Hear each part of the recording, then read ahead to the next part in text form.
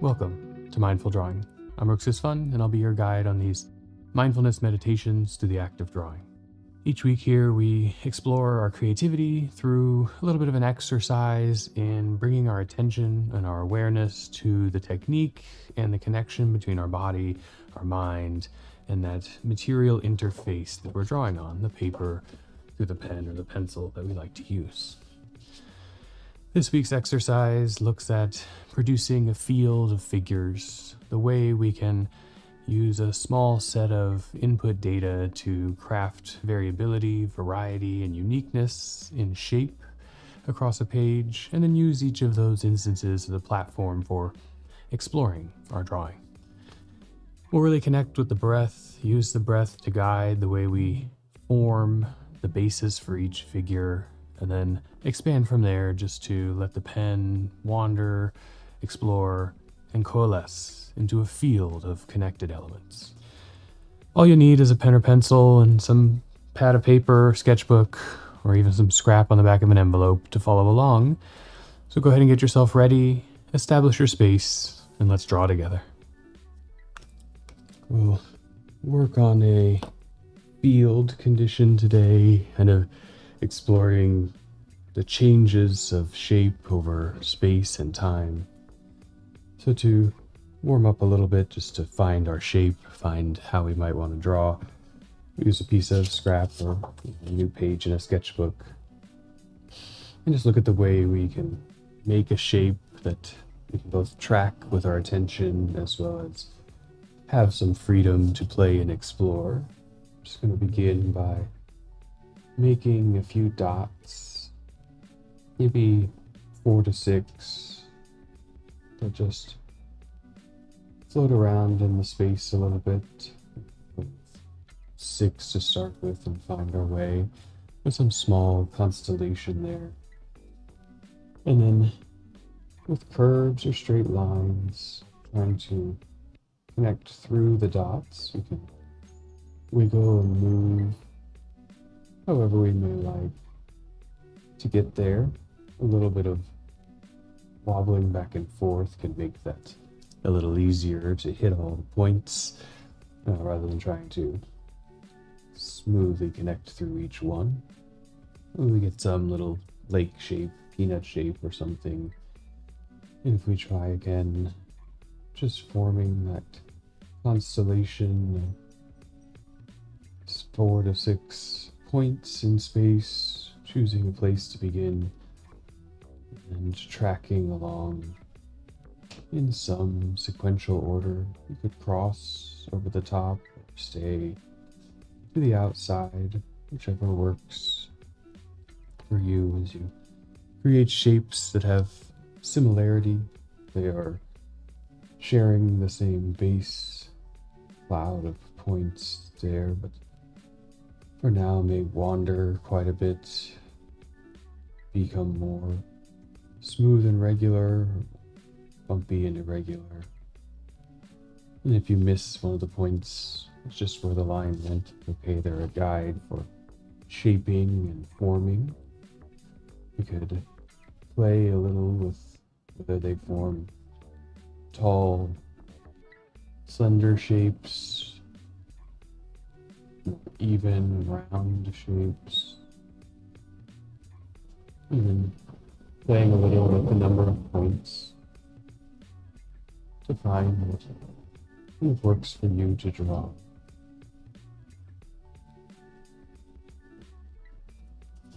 Go ahead and switch over to a larger field and explore in that space in somewhat organized or regular way the transformation of that shape over the space and time. So choosing a corner, whichever feels comfortable for you to begin. I'll start here in the upper right.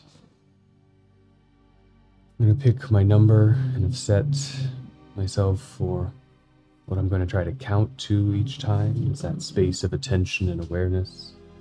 I'll go with five as a nice middle ground, enough to be complex, but not too many to make it take a while. And take a breath in, just stabilize, and then choosing a rough area of the page, too big, not too small.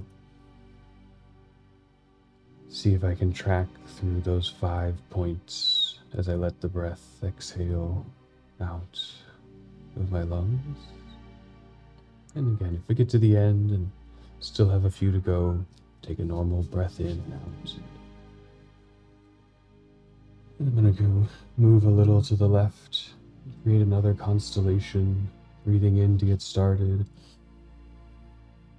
And see if I can begin to bring the speed of creating here the points and constellations in alignment with the speed of my breath. Again, five points arranged similar or differently as you begin to explore.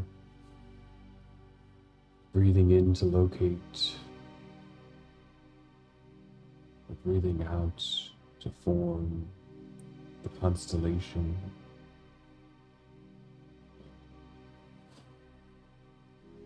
Starting to bring your attention with that breath cycle to direction. Are you working around clockwise or counterclockwise? Are you perhaps jumping all over the place? And if, like me, you start to reach the end of a row, you can move down a little, beginning to form kind of a grid space or field. But if you're working in a trajectory, establishing that as a rhythm here with the breath. Breathing in, setting the attention to the number, setting the attention to the direction of motion.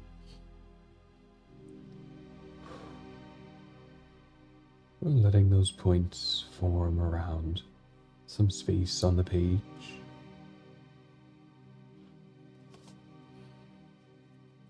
I'm working roughly in a grid, but it doesn't have to be too tight or constrained.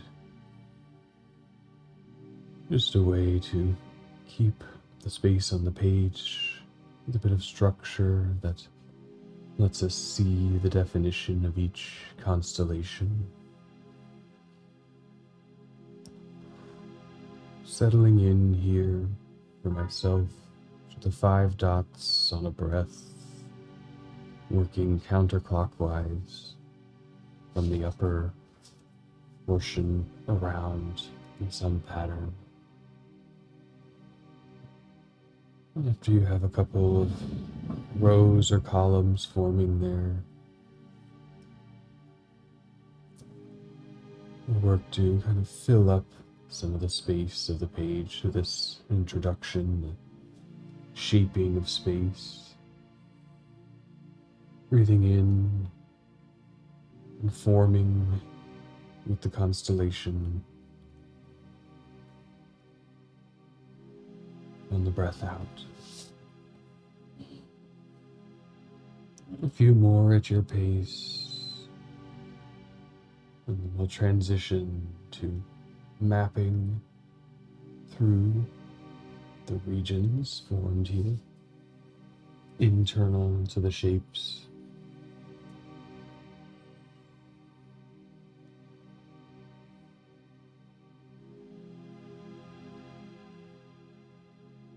and then look for opportunities external to them.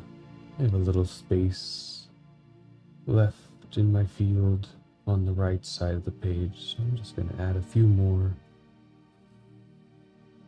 Spending some time in that slow, attentive breath, bringing the mindful awareness to the shaping here on the page.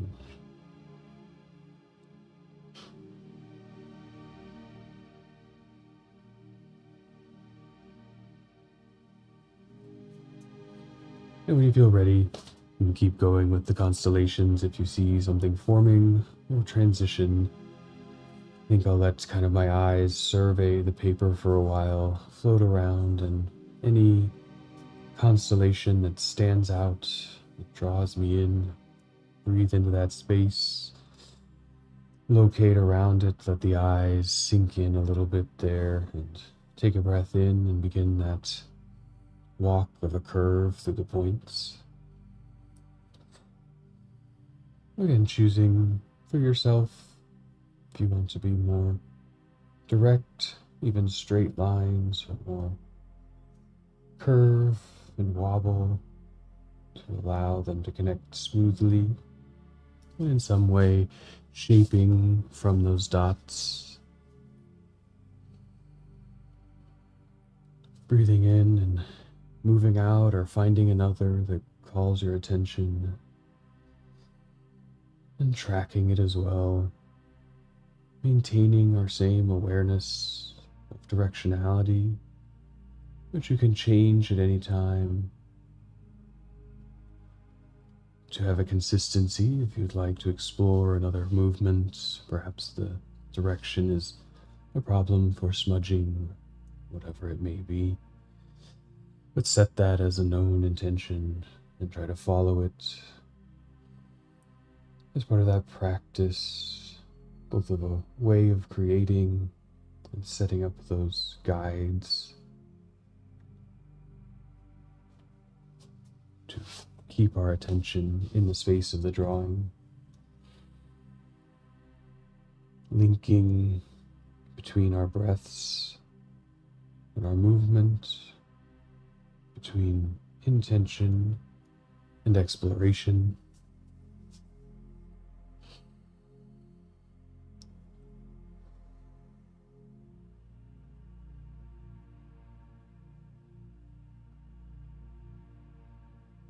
Just letting these initial constellations be our guide or introduction to filling out a bit of the space. Each new shape, each new figure tracking through those points, starting to create an inside and outside condition to form something between with its neighbor. But our attention focused on the moment, focused on forming the condition of the shape, focused on our interaction, the direction, the play of the line or curve. the movement of our hand through the space.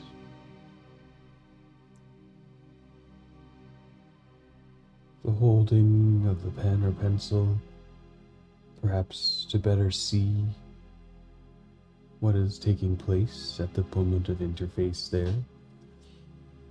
Depending on how you're drawing, it may block, reveal more. Sometimes for me, the path to the next point is unclear until passing through the previous one, unable to see it behind the hand.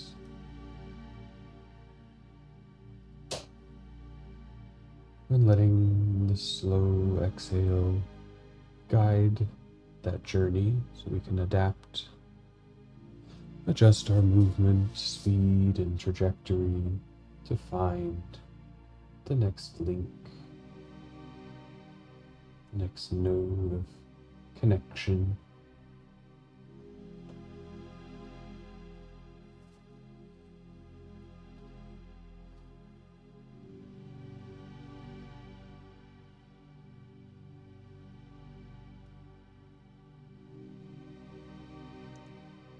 The structure of the points you may reach towards the end of the figures provided.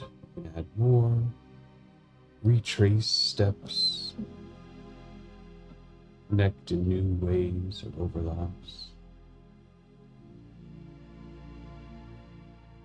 Or now begin to let our attention broaden to reach out from the moment of interaction and the forming of the figure to the space within or without. We have this constellation of points and going to begin to work inward to a form, perhaps little jumps, across the interior, little folds of the outside in, or jumps across the space, the void between each shape, proximities, or wandering overlaps through. I think I'll work internal to the shape for a little bit, giving each one more weight and more form to its initial perimeter outline, just simply jumping some arcs between neighboring points, creating a space between the edge and the center.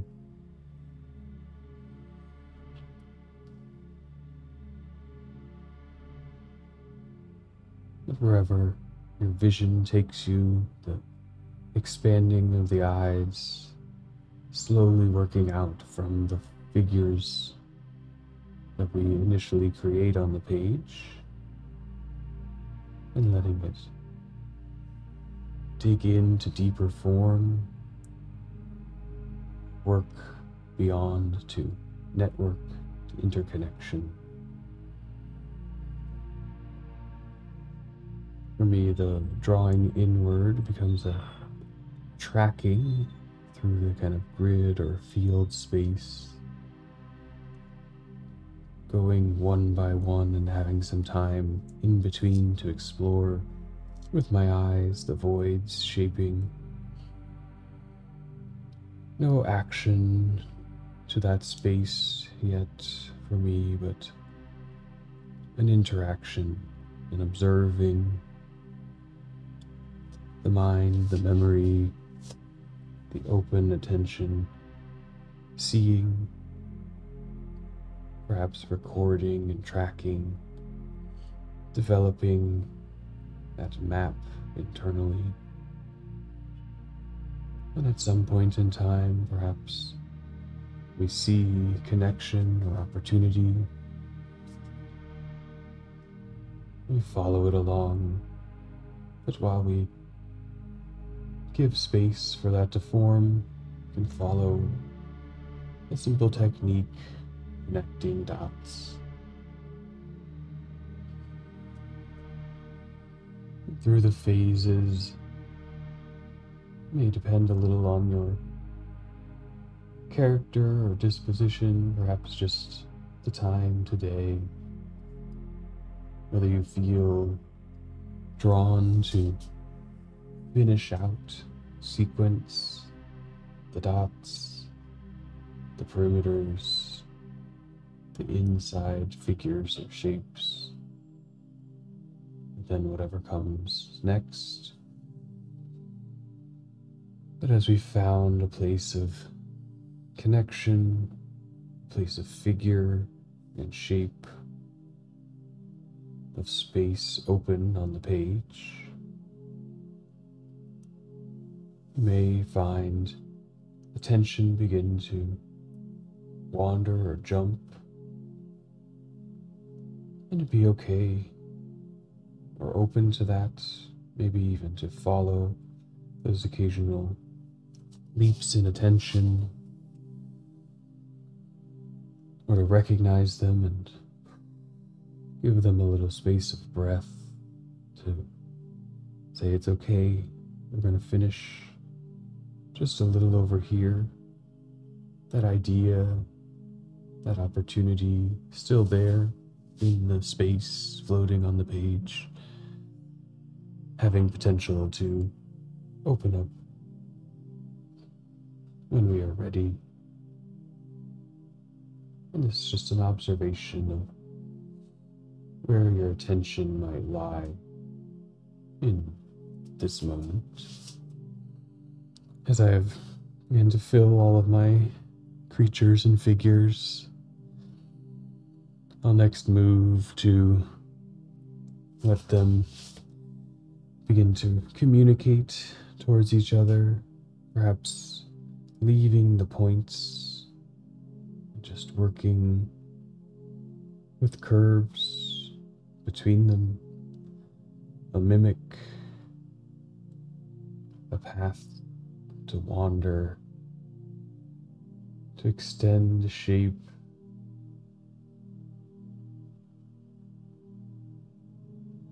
Search through the space for a while.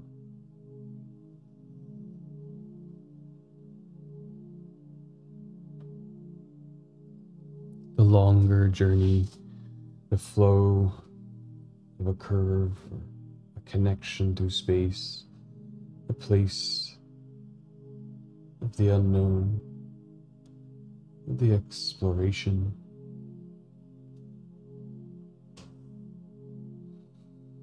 Keeping the pen or pencil moving.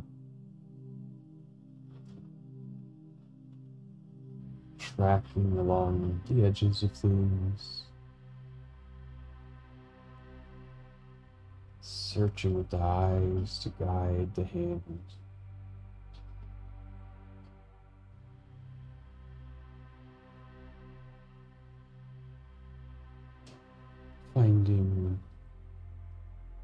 Opportunity and collision, overlap.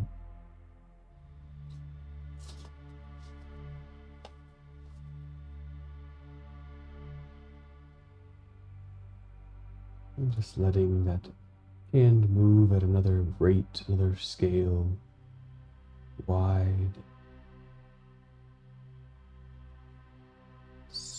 oscillating between the fast and the slow.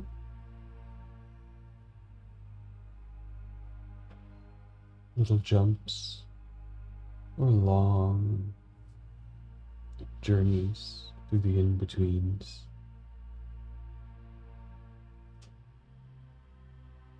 those bigger movements, releasing into the territory. Smaller nooks and crannies pulling us inward.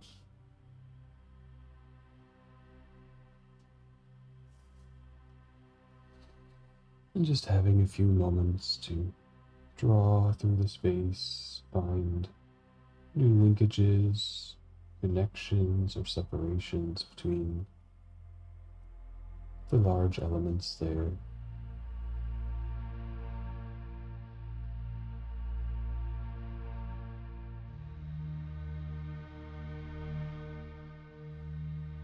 With our last couple of minutes, taking a few deep breaths? Establishing yourself in your space, perhaps putting the pen or pencil down wherever it may be, and just taking a moment. To breathe and roll the shoulders, to flex and extend the fingers and hands, warmed up, flexible, but maybe becoming a little rigid in their constant interaction. And the big breath in. And a nice release. Prepare to extend out to the next part of the day. Welcome back after the time we spend there exploring our creativity through an act of mindfulness through that inward attention to the creative act and the outward expression of how it fills the page and engages something new, something discovered in the multiplicity, something expansive from the technique, or just something fun to doodle on for 20 or 30 minutes. I thank you for joining, and as always, if you like what you see here, please feel free to leave a comment, give it a thumbs up down below, and let us know what you think about these exercises or things you would like to explore through the drawing. I'm always open to try new techniques or to see if there's ways that we can expand into other fields of drawing without becoming overly complicated or requiring too much skill. I hope you're able to find some fun and relaxation, or even just a little bit of creative expression here. And as always, whatever you're doing, draw well. Thank you.